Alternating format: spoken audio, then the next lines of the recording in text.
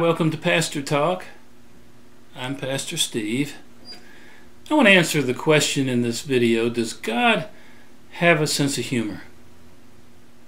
Several years ago, I, it's been quite many years ago, I had a man that uh, that told me that I, he loved my sermons and my preaching, but, but he felt like I ought to add some humor. I ought to tell some jokes once in a while and lighten up a little bit. And, and, uh, and my reply to him at the time was that, uh, that I just didn't see Jesus telling too many jokes. I said, read Matthew, Mark, Luke, John. You don't see Jesus telling too many jokes. Now, if you look, you'll find he did have some humor. Uh, what I call kind of some dry humor. You you have to look for it, and there's some things he did that was kind of. Uh, I think he was laughing inside as he was saying or doing different things. But uh, but overall, let's face it, uh, the gospel's not a joke. Our souls are a serious thing. The suffering Jesus went through is serious. The cross is serious. Uh, judgment's a serious thing. Heaven and hell is a serious thing, and, and I think the Lord wanted us to know that. But by the same token, I, I do believe God has a sense of humor. I want you to listen to what the psalmist said in Psalm 2. I'm just going to read the, the one verse. It says, He that, verse, it's Psalm 2, verse 4. He that sitteth in the heavens shall laugh.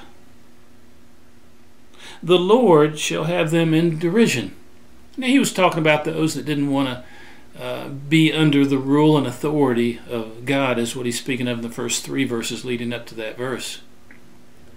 I was talking to a uh, to a, a, a lady friend not too long ago, and she was telling me uh, about something she heard about a conversation at her work. She wasn't there, so this is all secondhand, and I may not express this perfectly, but but I'll be able to get the point across to you.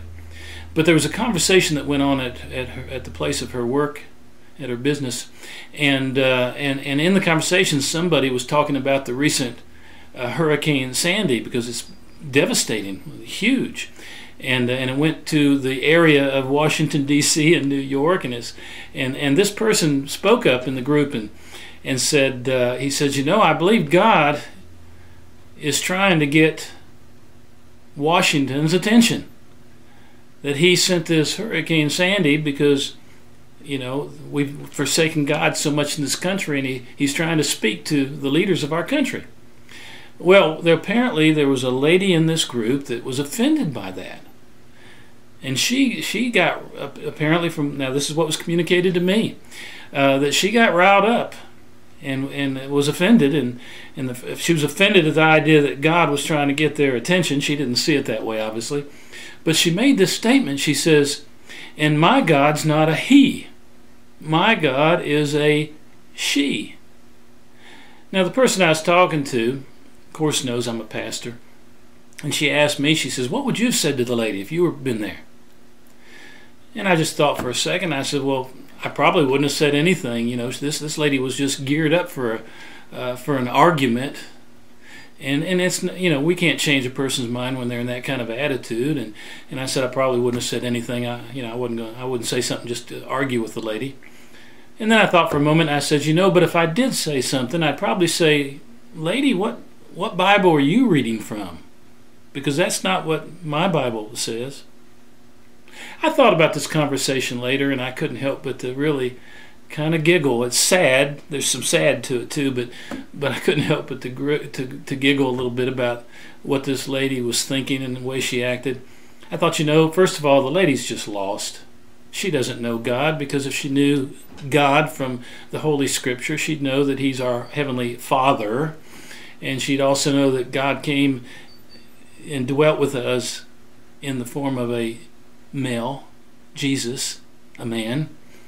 And uh, and so uh, he's referred to continually through the Bible. So you know that to me that's just a, a done deal there. But I know God is spirit. If you want to get real deep in your theology, God is spirit. But he did come as a man, and he went and sit on the right hand of the Father as a man. But in a way, I, I was thinking about this, and I, I, I, couldn't help but to giggle and, and laugh a little bit inside at the fact that she thinks that God is a she. You know, she really does. she is what is being laughed at in, the, in Psalm 2, where God's laughing because she doesn't want to be under the authority of God. She has made God in her image. She has made God in her image, and there's a lot of people and a lot of things could be said about that. Many of us see God the way we want to see them. You see, she worships herself and what she wants, and she thinks that her thoughts and her mind and what she believes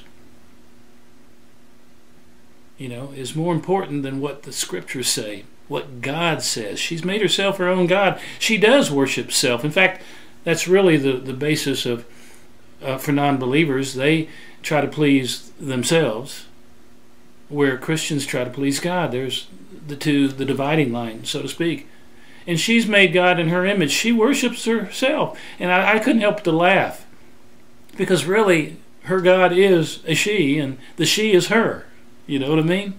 She's made God in her own image. What she wants to believe is right and God's wrong, and, and she worships herself and, and, and thinks that she has all the answers and she's right, and it's all about what she believes and not what God says. And there's going to be a judgment day for her, and that isn't funny, of course. But you know, God does have a sense of humor. I, I've, I've heard Christians say things. I heard two kind of discussing and getting a little upset. Two Christians one time, and and uh, many many years ago in my early walk, and one of them was saying, "Well, my God wouldn't do that." And another another one says, "Well, my God did, I believe," and and it doesn't matter what it is it's it's uh, you know there's the mystery of what God allows and what He does and, and chastening and how He does it and, and look at Job. You know, uh, if you didn't have the story of Job, we'd say, well, God would never allow Satan to do such a thing. But God does have a sense of humor, and I have found out in my life that, and, and I have lightened up a little bit. I, I'm still not a joke teller. I just don't believe that uh, really that we were meant to be called as preachers and pastors to be telling jokes in our sermons, but I, I do put some humor in there with some things once in a while to, to kind of get a little giggle out of my people. They, they they know me, my people do, and they recognize my sense of humor, and they, they can catch my sense of humor. I say something that's kind of funny and gets them to laugh. I, I have lightened up, is what I want you to know. And one reason you have to lighten up is because if you don't, you'll be a very sad person laughter is like a medicine. And so I do believe there's a place for us to have some fun. And Sunday school, I'll hear the, the people in the other room while I'm preparing for my message and, and, and uh, getting myself mentally and spiritually prepared for that. I'll hear them laughing. And, and I think it's so nice that Christians can get together and laugh. But, uh, but of course, the gospel is serious. Souls are serious, and, a, and the business of the kingdom is serious.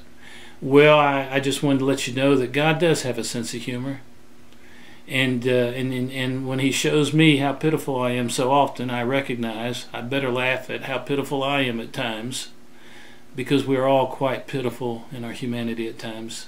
We need to have a sense of humor.